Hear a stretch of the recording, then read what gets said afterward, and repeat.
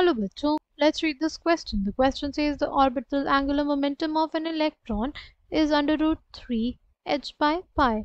Which of the following may be the permissible value of angular momentum of this electron revolving in unknown Bose orbit? Option A है h by pi, option B है h by 2 pi, option C है 3h by 2 pi, option D है 2h by pi. The key concept for this question is हमें क्या दिया हुआ है? Angular momentum सी अगर बात करते हैं हम लोग ऑर्बिटल एंगुलर मोमेंटम की ऑर्बिटल एंगुलर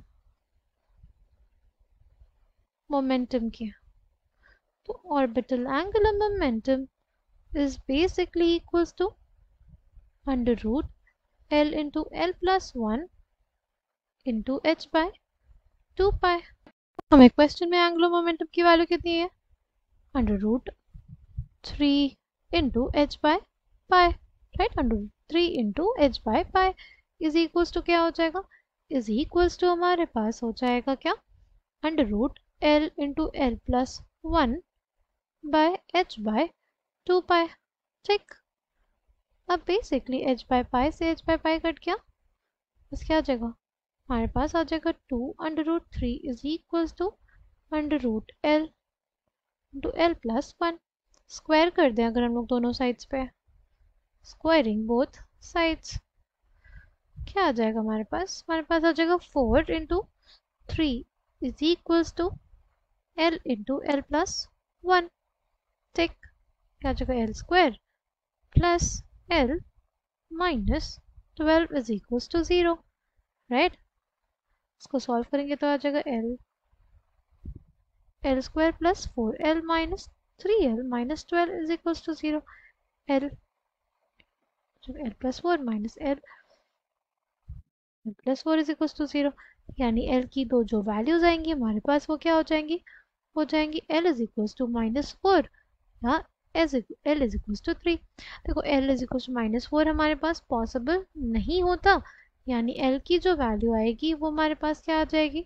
थ्री आ जाएगी।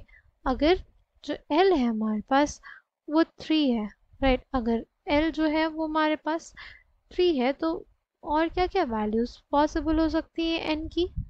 प्रिंसिपल क्वांटम नंबर की। प्रिंसिपल क्वांटम नंबर की जो वैल्यूज़ हो सकती है हमारे पास पॉसिबल वो हो जाएँगी greater than equals to four क्योंकि जो एल होता है वो हमारे पास क्या होता है? एन माइनस वन होता है। ठीक? अब अगर हम लोग बात करें एंगुलर मोमेंटम की टोटल एंगुलर मोमेंटम जो होता है हमारे पास, वो बेसिकली क्वांटाइज होता है और उसको हम लोग लिख सकते हैं in the form n h by two pi n की वैल्यू क्या हो जाएगी? फोर हो जाएगा four h by two pi five h by two pi six h by two pi ऐसे ये सब पॉसिबल वैल्यूज़ हो सकती हैं। ठीक है, इसको सॉल्व करेंगे तो हमारे पास कितना आ जाएगा? ये आ जाएगा टू बाय पाए ये हमारे पास क्या आ जाएगा? Three by three h by pi coming back to the question क्या क्या पॉसिबल थी? हमारे पास एक पॉसिबिलिटी थी हमारी टू एच बाय पाए दूसरी थी थ्री एच बाय पाए देखते हैं कौन सी पॉसिबिलिटी हमें गिवन है। एच बाय पाए तो नहीं हो सकता एच बाय टू पाए भी हमारे पास नहीं हो सकता।